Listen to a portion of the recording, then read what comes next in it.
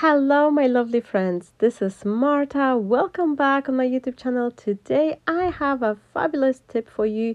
Uh, if you are using the embossing folders and you do the technique called double embossing, I will show you in a second how to create this double embossing effect without getting those smudges. Usually, when you smear the ink pad, uh, the padded ink pads they have this little cushion which is soft so it's very easy to get those smudges. But if you will work with the brayer this will give you this absolutely sharp image and it's just working 100% i do have some surprise for you so stay tuned till the end of the video uh, my friends because i've created some uh, free downloadable designs for you. Now my friends uh, so many new uh, of you has recently joined the channel and subscribed so thank you so very much. And i also wish to say thank you to all the friends who's been with me. Uh, i've recently just posted a video after a long break and i'm so thankful and excited for all of you to jump in and uh, watch the video. Uh, so thank you so very much. By the way my friends please let me know in a comment what is your favorite flower uh, if you have so i would love to know that. And for all the new friends who recently joined the channel please say hi. Please let me know where are you watching from. I always love to meet new friends and i'm always curious which side of the world uh, are you in. So please say hi everyone I'm going to be working on 5 by 7 card base and I'm starting off from chopping this piece of design paper with the flower pattern on it and then I am uh, taking this other design and I will be cutting slightly smaller a uh, piece just to go in the center uh, there's no special need for taking any measurements. I'm just eyeballing it making sure it's like uh, around half an inch smaller than the other one. This is what i normally do. Rather than stressing myself with the ruler i'm taking a pencil and just marking two dots uh, where am i supposed to cut? And it's always it never failed me. Now uh, i am putting the paper in the, the uh, embossing folder and i'm just making sure it's nice and straight uh, right in the center and I will run it through my machine. I am using the Sizzix um, big shot machine just in case you're wondering and now it's the main part of the uh, video the tip i wanted to share with you rather than smushing the impact and uh, risking that it will give me some smudges. I am adding the ink into the brayer and i'm just gently brayering on top of the rice area. Because the brayer is very stiff it's got this like you know very um, uh, solid surface it won't go down uh, below the rice area and it will only add you the ink uh, wherever you wish to. It not necessarily need to be the embossing ink. You can use the colorful distress inks or any other inks and i guarantee to you that you will have this beautiful result with each time however i've decided to go with the uh, embossing ink because I'm adding this white embossing powder and as you can see here my powder is just sticking to the area where it's supposed to. If you would like to have this thicker layer of the embossing on top of the rice area, you can repeat the step two or three times and just play with it. You can even do like a ombre effect, sprinkle one side of the uh, rice uh, emboss area with one color of the powder and then just like, you know, melt it into the different color powder. That will be working really well too. Uh, I'm adding the white powder because I've got this light blue color paper and I think it will go nicely together.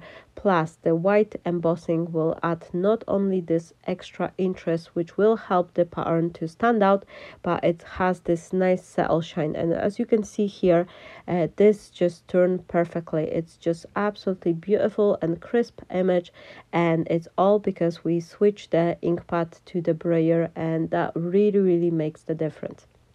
Now I'm gonna be back in this paper with a piece of the white cardstock because I want to have the similar white frame to go underneath the uh, embossed piece. However, if you uh, creating the cards and you worry about the postal cost and you not necessarily want to add some extra layering or weight, what you can do, you can smear the embossing ink pad around the area like all four edges and just gently sprinkle it with the white embossing to create the uh, nice frame to go. Or you can uh, skip the step. It's entirely uh, voluntary whatever you prefer. Uh, I have those labels and as you can see I've printed the free digital design on two uh, different papers. One is the A4 one is the A5 so uh, those those free files which uh, are linked on the buy me a coffee page uh, for which of them? The link is down below. Uh, they will be there for you to download. This is a pdf file for free and you can reset the size uh, if you if you prefer. So uh, as i did here and i'm using the smaller uh, size. Now uh, one more tip uh, which i want to share with you is whenever you're fussy cutting your elements keep your hand which hold the scissors very steady and I'm usually keeping my hand support on the desk uh, and I'm not moving the scissors. I'm only twisting the side which I'm holding the paper on and this way I have these beautiful results if I need to fussy cut some some elements. This is a Fiskars uh, easy spring scissors I'm using and these are just fabulous. This is one of my favorite if it comes for the uh, cutting out the elements.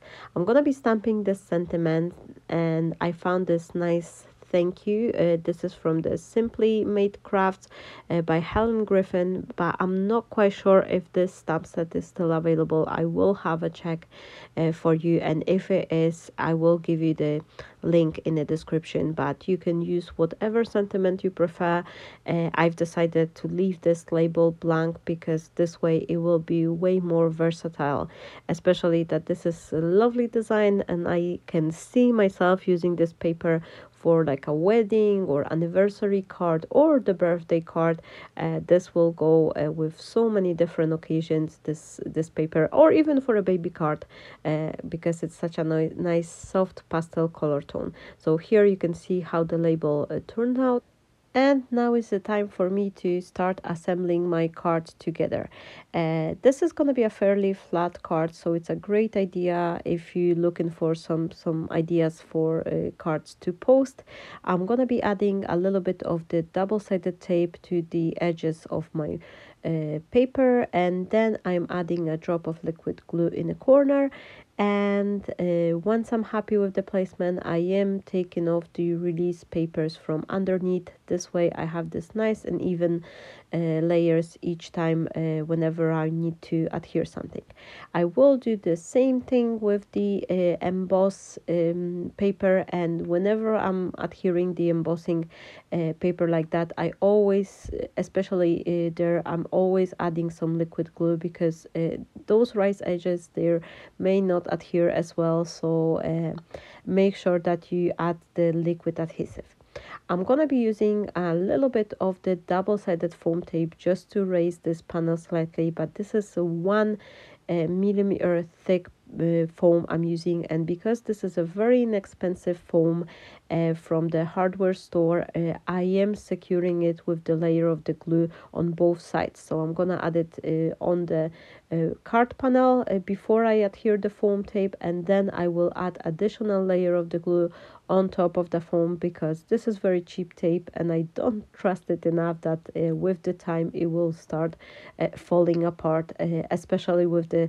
with the cheap glue uh, with the cheap tapes uh, they usually tend so within uh, like a one year or so they just start you know coming off. And if you give the card to someone you want to make sure that they will the card will last if they will decide to to keep it so I'm gonna do a similar thing with the label.